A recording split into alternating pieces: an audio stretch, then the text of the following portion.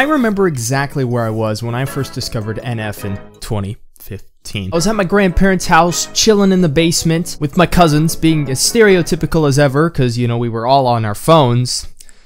No surprise there. I was just scrolling through Instagram when I discovered NF. I looked at his profile page, clicked on the link to his bio, which directed me to his Mansion album, listened to it, and I loved it. Three years later, I'm still a huge fan of his. I've witnessed the release of Therapy Session and Perception. I've seen him on tour, and I'm literally wearing his shirt right now, so if that doesn't prove to you that I'm a huge fan, I don't know what does. So, with that said, Perception is his worst album. If you're asking why, we'll need to travel back to 2010 in order to fully grasp the situation. I need a refresher on his albums, so let, us just start with the first one. Darn. Ugh. okay. Never done this before, so.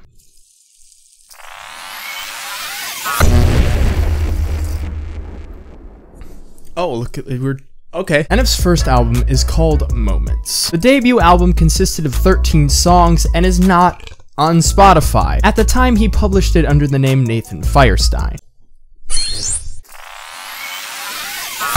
NF's second album, called Mansion, was released when he signed with Capitol CMG. By this time, he officially owned the stage name NF and started getting his name out there in the rap scene. Third album, in my opinion, is his best album, Therapy Session. Yep, there it is. Last Stop.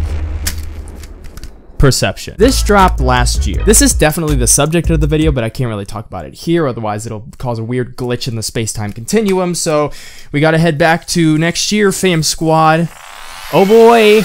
And now, by this time, we're still waiting for a new album. We have some new singles, sure, like Why and No Name, which I really, really like, but I wouldn't mind a new album. Now, Perception. It's not a bad album, but I do think it's the worst one out of his collection. This is mostly due to a very specific trend that I've found in his music. The longer NF has his career, the more he starts comparing himself to other artists. This is important because NF usually writes from a perspective of somebody who's hurt and is dealing with something, making the songs feel real. Once he starts comparing himself, however, the hurt kid persona hides behind the curtain and the stage life NF appears. On his first album, it focused on him dealing with certain negative aspects in his life, as well as representing Christ. We can see that he only uses one song to compare himself to rappers as well, which I believe because at this time, NF wasn't really touring, so he wasn't as popular as he is now. The second album's direction symbolizes his negative experiences into rooms in his mind, which he alludes to being a mansion. Again, he only uses one song to compare himself to other rappers, and focused on talking about what he was dealing with. By this time, he started the Mansion Tour, which really gave him a taste of the tour life. With the third album, Therapy Session, this is where his tour life starts getting incorporated into his music. The focus with this one was to open up 100% with his personal struggles and uses this album as a therapy session. In three different songs, he compares himself to other rappers. On Perception, he buries his fear and is free to walk out of the cell that fear has trapped him in. NF uses four songs to compare himself, where at this point most of the subjects he talks about on this album have to do with him being a rapper. Out of the 16 songs, only 5 have to do solely with issues of his life. The rest mention his career. The other issue I had with Perception was that it felt like it really didn't have a focus as if it was just a compilation of singles. With Therapy Session, the transitions flowed amazingly from song to song. With this album, I could easily put it on shuffle with intro 3 playing first and outro playing last, and it really wouldn't affect the listening experience. That doesn't explain why you're talking about it now, a year after the album's release, which guarantees that you will get absolutely no views, rather than making this video a week or even a month after the release of Perception. Well,